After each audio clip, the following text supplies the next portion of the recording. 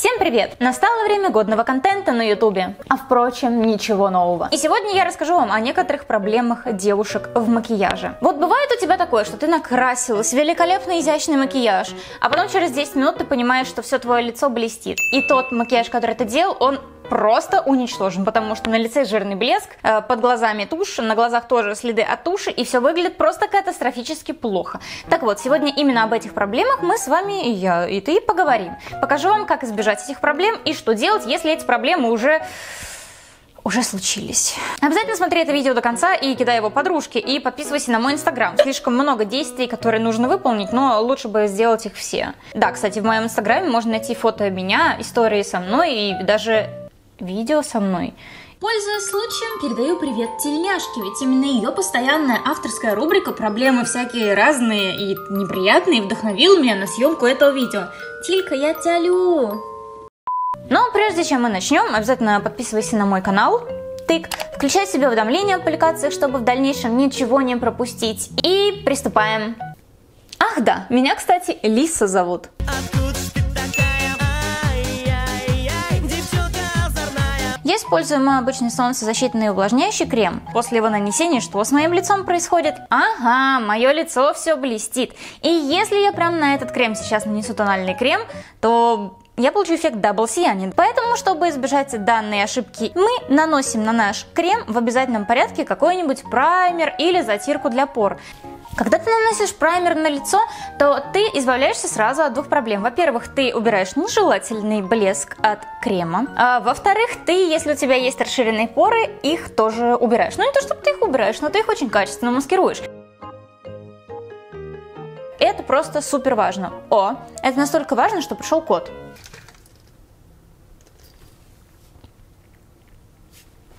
И теперь, когда ты наносишь тональный свой крем, у тебя такой проблемы уже не будет.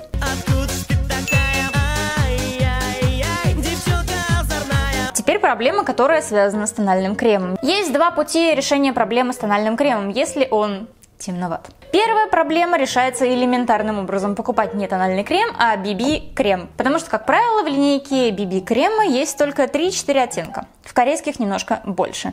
И из этих 3-4 оттенков важно только понять свой цвет кожи. Он или светлый, или средний, или темный. И если он светлый, это значит, что у тебя нет загара. Если средний, это значит, что у тебя не очень темный загар. Ну, соответственно, темный это если твоя кожа, ну, выглядит как-то так. То есть, если ты любитель позагорать на солнышке, с BB-кремами проблема решается элементарно. Как она решается? Да так, что просто ты берешь, наносишь, и он подстраивается под твою кожу. Чудеса? Чудеса 21 век.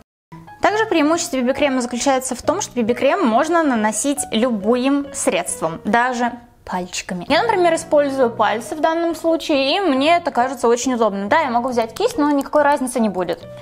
Конкретно я использую матирующий BB-крем «Кислородный баланс». Вторая проблема, с которой вы можете столкнуться, или первая, я не помню, что у нас было раньше, это если вдруг ваш тональный крем, ну или вдруг даже BB-крем не подходит вам по цвету кожи. Что делать в таком случае? В таком случае вы можете взять ваш обычный крем, взять ваш тональный крем и немножко их смешать. И таким образом вы получите тональный крем-крем, э, который будет по цвету чуть-чуть светлее в случае, если ну, текстура для вас темновата.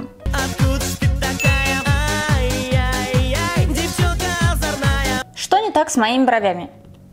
Раз, два, три. Как ты думаешь, что не так с моими бровями?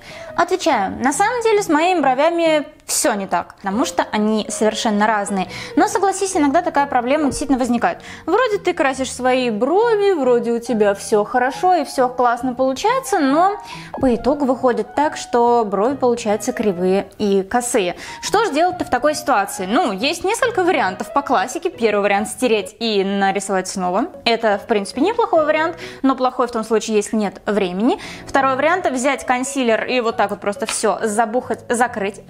Замечательный вариант в том случае, если у тебя есть именно консилер, который возможно, что справится с этой проблемой. Но что делать в третьем случае, если нет времени и нет классного консилера? Все очень просто.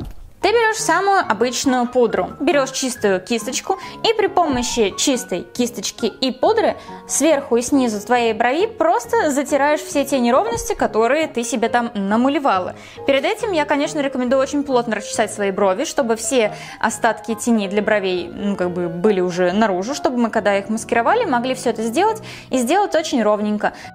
Кстати, если вдруг по какой-то причине свое начало брови ты тоже сделала слишком ярким и реально не понимаешь, что с этим сделать, потому что щеточкой ничего не получается организовать, то делай все ровно то же самое. То есть возьми пудру и пытайся как будто бы пудрой по направлению к своей переносице растушевать вот эту вот ненужную тебе тень. Ну а чтобы уже наконец передать нашим бровям уж максимально-максимально идеальный вид, то я рекомендую расчесывать их по направлению вверх специальным прозрачным гелем для бровей. А теперь я расскажу вам, как, наверное, бороться с одной из самых неприятных проблем в макияже. Это с тенями. Но прежде чем мы начнем про тени, слушайте внимательно. Я хочу напомнить вам об одном очень важном конкурсе потому что в этом конкурсе много призов. Фоксы. Вы же помните, что в одном из моих прошлых видео я говорила вам о конкурсе, который проводит Фаберлик?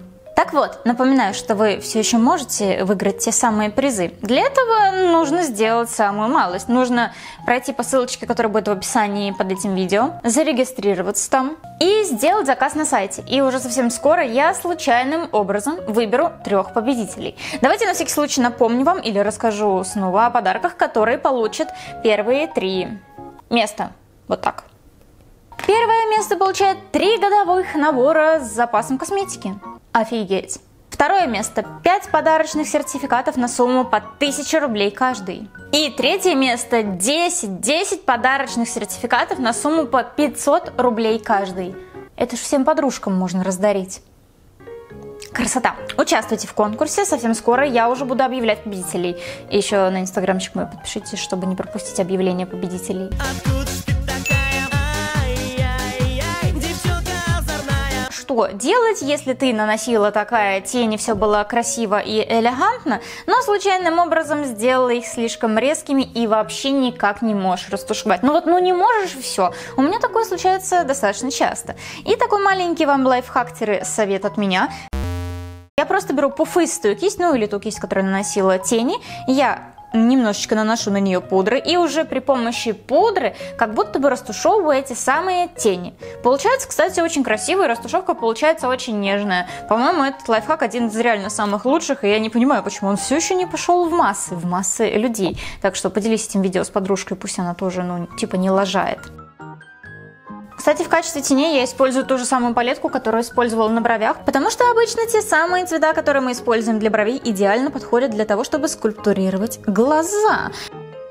Кстати, еще бывает такая неприятная история, когда ты вроде накрасила глаза, и все так красиво, элегантно, и все как мы любим с вами, но наносишь ты свой макияж и понимаешь, что все тени у тебя осыпались на нижнее веко, и это выглядит очень неприятно. Кистью это не растушевать, а что делать-то, собственно? Так вот, это просто-напросто перекрыть все это добро консилером. Да, именно так. Просто перекрыть это консилером. Звучит, наверное, странно и страшно, и кажется, что ты просто разведешь всю грязь, но, смею вас заверить, это не так давайте прямо сейчас вместе посмотрим. По-моему, вышло просто очаровательно. А, и еще такой маленький бонус от меня. Он не относится к рассыпчатым теням, но он поможет вам избежать любых проблем вообще с тенями. И этот э, лайфхачок заключается в том, чтобы использовать не рассыпчатые тени, а кремовые. Если вы давно следите за моим каналом, вы знаете, что я просто без ума от любых кремовых теней. И, и вот тут у меня как раз есть специальные тени, которые можно использовать так же, как тинт для губ и румяна.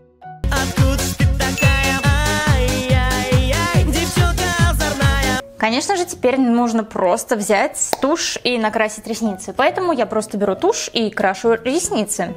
Вот я думаю, сейчас будет одна из самых распространенных проблем, связанных с тушью. Это отпечатывание туши на верхних, на нижних ресницах и вообще где попало везде. Проблема, да? Вроде как даже очевидная. Собственно, чтобы устранить эту проблему, нужно только одно – время. Ждем, пока тушь полностью высохнет. Прям полностью. Вот полностью. Кстати, если ваша тушь новая, и вы не хотите, чтобы у вас э, все было в комочках и паука-лапочках, то прежде чем использовать тушь, делайте вот так. Кстати, пока тушь сохнет, но это займет как минимум минуты 4-5, я предлагаю разобраться, что же делать с румяшечками, если облажались чутка. Откуда ты палетка румян. Вот румяна, вот моя кисть, и вот я беру румяна, и предположим, что я их сейчас переберу. Вот, собственно, и проблема. Что с этой проблемой первая мысль хочется сделать? Это сделать вот так. Но растушуйся. Ну, пожалуйста. Но умоляю тебя. не хочет.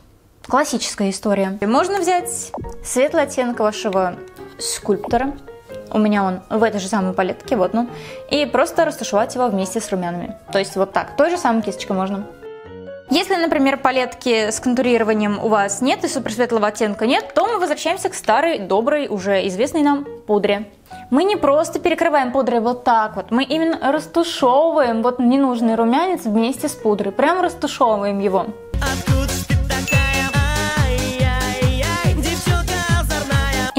Такая проблема, что вот сделала ты великолепный макияж, и все у тебя хорошо, и ты приступаешь к прическе, и у тебя появляется вот такая вот проблема.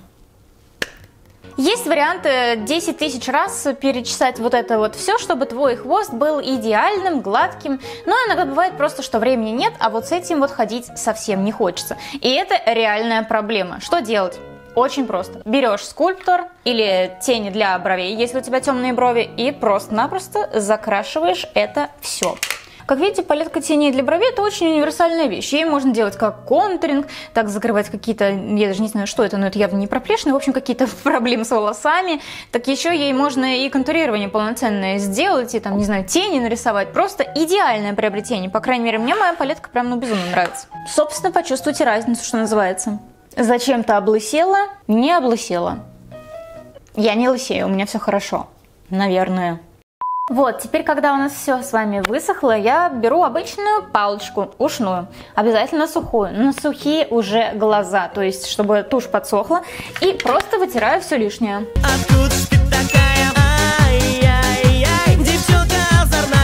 Что ж, теперь приступаю к самому вкусному, ну, на самом деле нет, но к одному из самых важных моментов. Это губная помада главная проблема это то, что губная помада остается на зубах. Так как этого не допустить? Кстати, это та же самая штучка, которая красила глаза, и ей еще можно щеки делать. Вот я нанесла помаду.